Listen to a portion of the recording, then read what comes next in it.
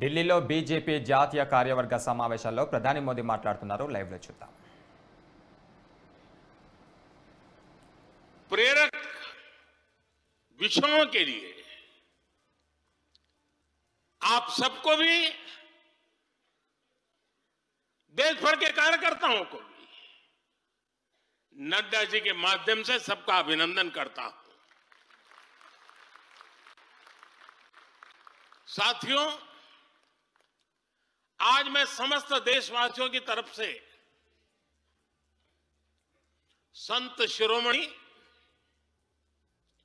आचार्य श्री 108 पूज्य विद्यासागर जी महाराज को श्रद्धा पूर्वक आदर पूर्वक नमन करते हुए श्रद्धांजलि देता हूँ। उनके संलेखन समाधिस्थ होने की सूचना मिलने के बाद उनके अनुयायी शोक में हैं। हम सभी शोक में हैं। और मेरे लिए तो यह एक व्यक्तिगत क्षति जैसा है। वर्षों तक मुझे व्यक्तिगत रूप से अनेक बार उनसे मिलने का उनके दर्शन करने का, उनके मार्गदर्शन प्राप्त करने का अवसर मिला है। कुछ ही महीने पहले ऐसा ही मन कर गया था, मेरे प्रवास कार्यक्रम को बदल करके बहुत सुबह सुबह मैं उनके पास पहुँच गया था। तब पता नहीं था कि मैं दोबारा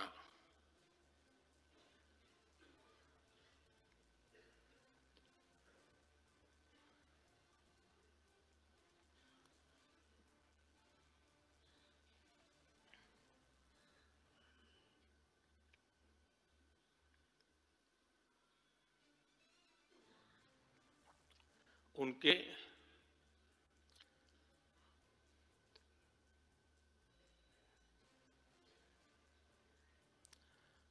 दर्शन नहीं कर पाऊँगा।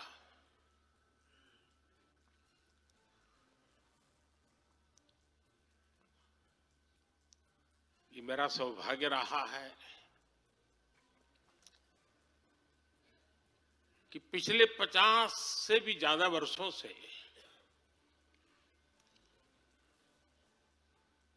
मुझे देश के गणमान्य आध्यात्मिक मूर्तियों के निकट रहने का, उनके आशीर्वाद पाने का अवसर रहा है।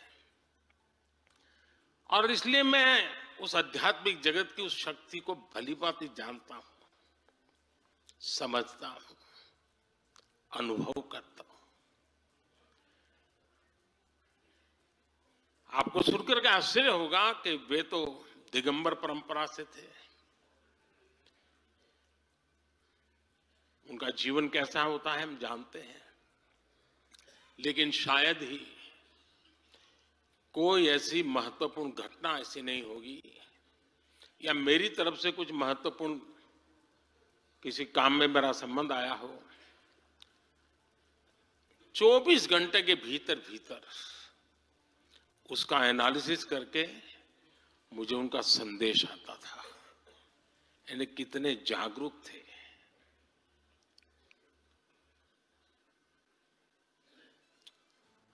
और अपनी विराट आध्यात्मिक यात्रा और उसके बाद भी वो हम सबको हमेशा प्रेरणा देते रहे हैं। जीवन भर उतनी सौम्यता के साथ उनका लोगों को मिलना, उन्होंने हमारे युवाओं को परंपराओं से जोड़ा, गरीबों तक शिक्षा और स्वास्थ्य की सुविधाएँ पहुंचाई। उनका पूरा जीवन उस व्यक्ति के लिए प्रेरणा जैसा है जिसने गरीबों और वंचितों के लिए काम करने का संकल्प लिया है। आज जब भारत प्रगति के पथ पर आगे बढ़ रहा है, मुझे विश्वास है कि उनके सिद्धांत और उनका आशीर्वाद ऐसे ही भारत भूमि को प्रेरणा देता रहेंगे। साथियों, पिछले दस वर्षों में भारत ने जो गति हासिल की है, बड़े लक्ष्यों को प्राप्त करने का जो हौसला पाया है यह अभूतपूर्व है साथियों। और इसलिए नहीं कि मैं कह रहा हूँ, दुनिया गाजे बाजे के साथ बोल रही है।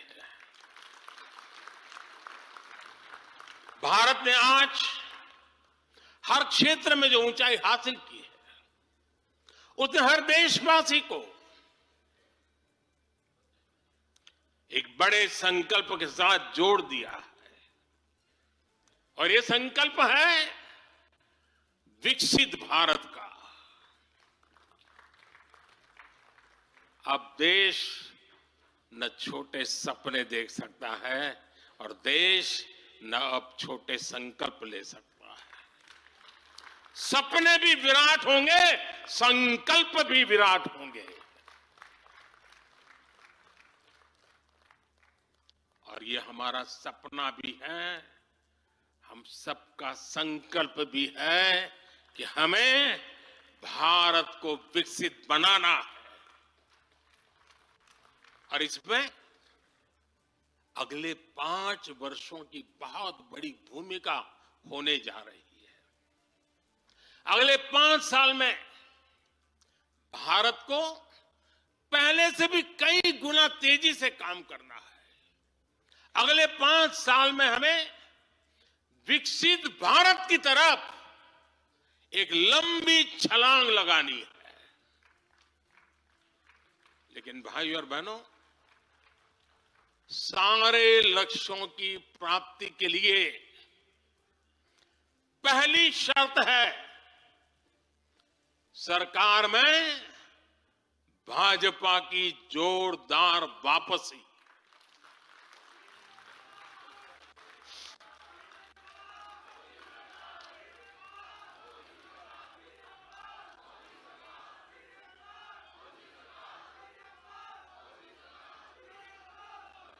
आज विपक्ष के नेता भी एनडीए सरकार 400 पार के नारे लगा रहे हैं।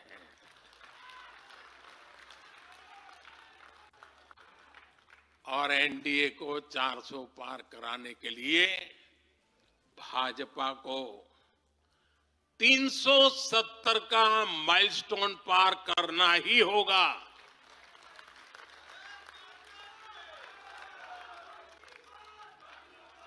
साथियों, कई बार लोग मुझसे कहते हैं,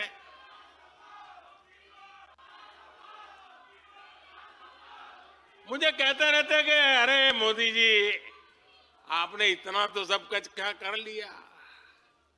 जो बड़े बड़े संकल्प आपने लिए, वो तो पूरे कर लिए। अब क्यों इतनी भागदौड़ करनी?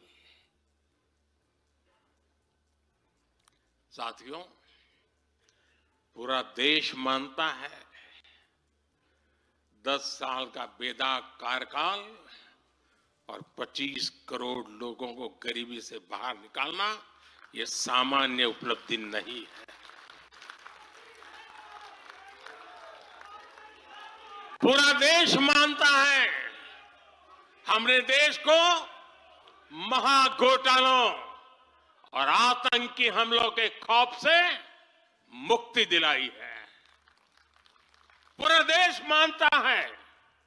हमने गरीब और मिडिल क्लास का जीवन बेहतर करने का प्रयास किया है।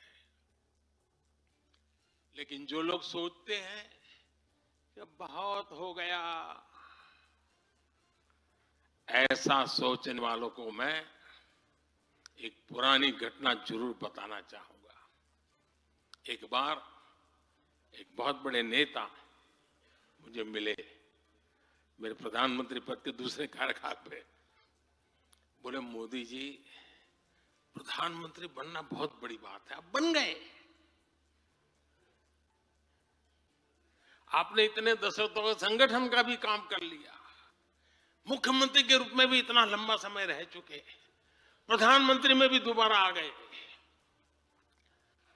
अब इतना काम क- क- पा लिया है, अब तो थोड़ा बैठो, आराम करो, बहुत कर लिया। ये उन्होंने मुझे कहा था। उनकी वो भावना राजनीति के पुराने अनुभवों से थी। लेकिन साथियों, हम राजनीति के लिए नहीं राष्ट्र नीति के लिए निकले हैं। हम तो छत्रपति शिवाजी महाराज को मानने वाले लोग हैं। जब छत्रपति शिवाजी महाराज का राजाभिषेक हुआ तो उन्होंने ये नहीं किया कि अब तो छत्रपति बन गए, सत्ता मिल गई तो चलो, उसका आनंद लो। उन्होंने अपना मिशन जारी रखा। ऐसे ही उनसे प्रेरणा लेकर के मैं अपने सुख वैभव के लिए जीने वाला व्यक्ति नहीं हूँ। मैं बीजेपी सरकार का तीसरा टर्म सत्ता भोग के लिए नहीं मांग रहा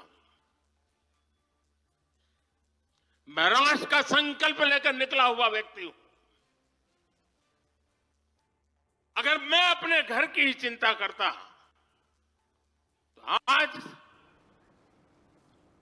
करोड़ों गरीबों के घर